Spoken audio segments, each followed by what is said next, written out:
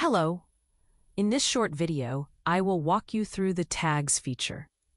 You use tags to group members so that you can select specific member groups when sending a notification. To use tags, first you need to create them.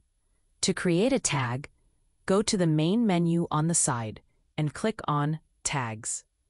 Here you will see all the tags that you have created so far, as well as edit those tags, delete them, as well as create new tags. To edit a tag, simply double-click on the row or click on the pencil icon. If you want to create a new tag, click on the green New button.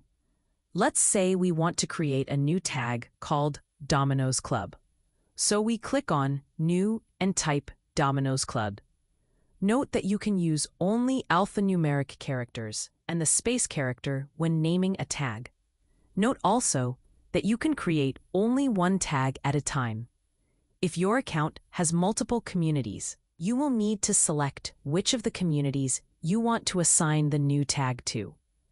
Note that you can pick only one community for the tag you are creating.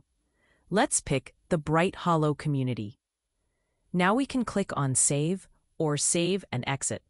Note two things. First, a tag needs to be unique across a given community. This means that you can't create two tags both called Book Club and assign them to Bright Hollow Community. However, you can create another tag called Book Club and assign it to the Yellow Gardens community. Let me show you. I click on New. I type Book Club and I select Yellow Gardens. Then I save and exit. And there it is, a book club tag for Bright Hollows and another one for Yellow Gardens. As you will see in the video about how to create a notification, this ability gives you the flexibility to select which of the two tags to use when sending a notification, depending on what communities you are targeting. And that's it.